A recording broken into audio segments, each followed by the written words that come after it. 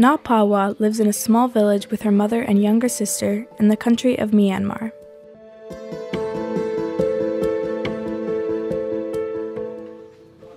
She has always had a passion for fashion.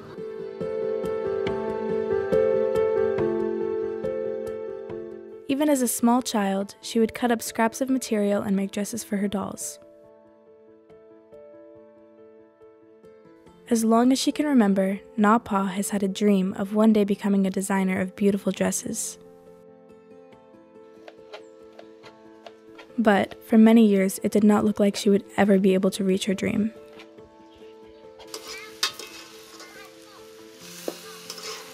She was not sure she would even be able to ever work as a seamstress. When Naw Paw was just two years old, she fell sick and had a high fever for several days. After she recovered, her mother noticed that she had stopped talking. She seemed to be suddenly lost in her own small world. It was only later that her mother discovered that Naw Paw had lost her hearing because of the high fever. Not able to hear the people around her, little Naw Paw never learned to talk.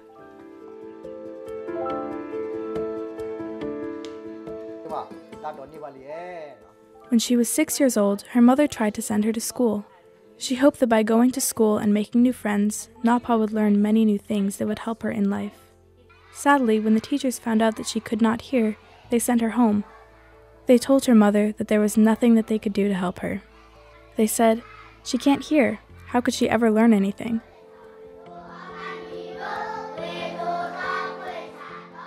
Naw Paw's mother was very poor and did not have the money to send her far away to a special boarding school for the deaf.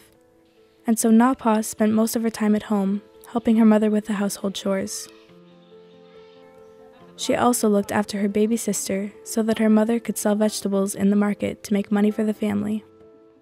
Her sister had health problems as well and needed special care. Whenever her sister was sad, Naw Paw would dance for her and it would make her feel better.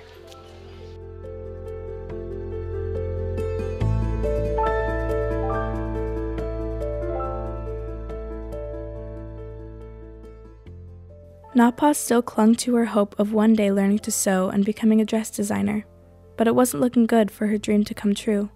She had no education, no training, no sewing machine, and no money. Then one day, everything changed for Naw Paw. Her mother told us the story.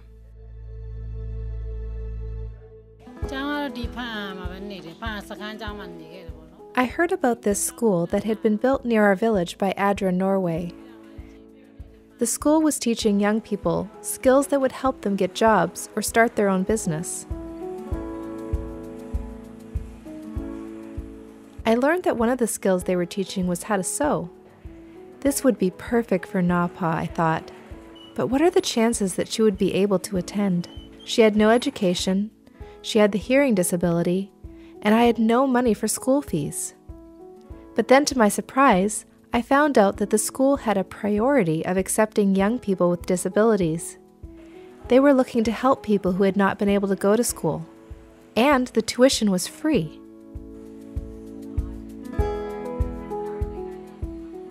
We applied, she was accepted into the program, and Naw Paw started going to class every day.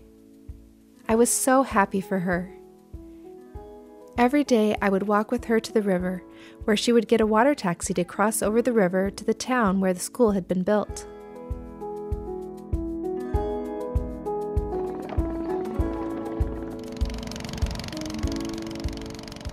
They were even able to cover the cost of transportation to school every day.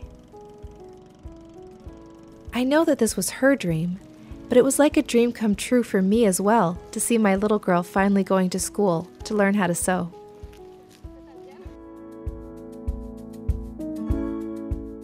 And she did so well in her classes. She made so many new friends there. The teachers were so kind and wonderful. They were all very impressed with my Naw Paw.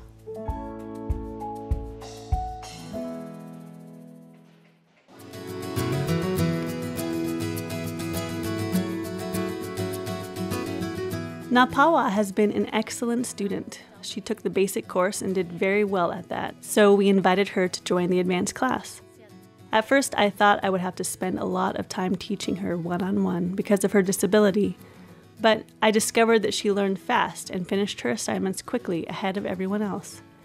While the other students were still working on their assignments, she was making clothes from her own designs. She is a real natural.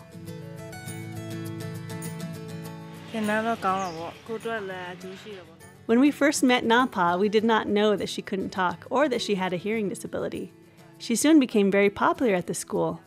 We were all very interested to see how she would be able to learn, or even how the instructors would be able to teach her.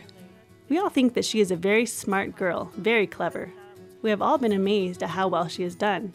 While the rest of us were learning how to make clothes by following patterns, she was making her own designs.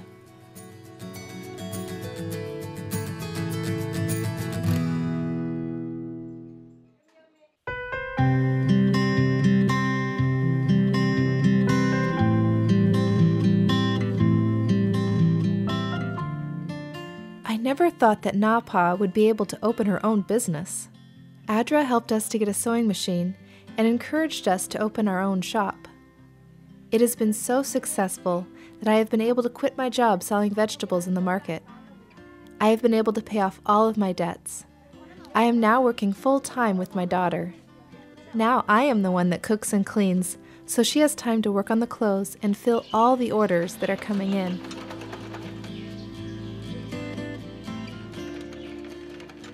Naw Paw has seen her dream come true.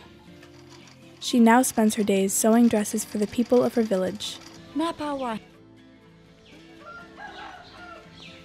People will show her a dress that they have seen in a magazine or on the internet and ask her if she can make them one just like it. Of course, she's happy to. She takes their measurements and marks them down in her book, just like she learned in her class.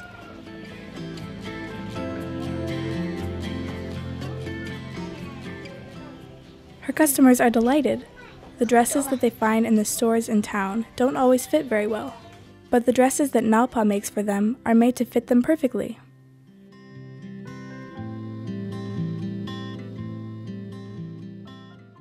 Naw Paw loves her new life, making clothes for her friends and neighbors, and whenever she gets the chance, she works on her own designs. Just like she dreamed when she was making clothes for her dolls, she is now a designer of beautiful dresses.